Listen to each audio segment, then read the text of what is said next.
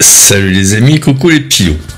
Alors pendant que j'écrivais euh, le triangle d'exposition et celui de dois-je succomber, j'ai évoqué la dynamique des capteurs. Je sais que les thèmes comme l'autofocus s'éloignent au fur et à mesure que j'écris mes scripts. Mais je vous assure que pour la dynamique des capteurs et le triangle d'exposition, donc qui est la profondeur de champ qui va avec, vous ne serez pas déçus. Enfin j'espère. Ce faisant, j'essaye de coller un petit peu à l'actualité et il est vrai que j'ai plein d'idées de vidéos, mais bon, j'essaye de, grouper un peu mes idées et de pas me, me disperser.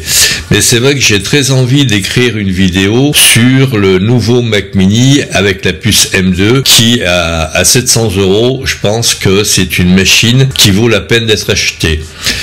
J'essaierai d'en parler brièvement dans une petite vidéo, mais euh, bon, ce sera pour un tout petit peu plus tard, après euh, mes deux trois vidéos sur euh, le triangle d'exposition, la dynamique des capteurs. Je vous remercie donc d'être fidèle. Si vous aimez mes vidéos, likez, partagez, abonnez-vous, faites abonner, faites du bruit autour de mes vidéos. Merci pour votre fidélité et à très vite.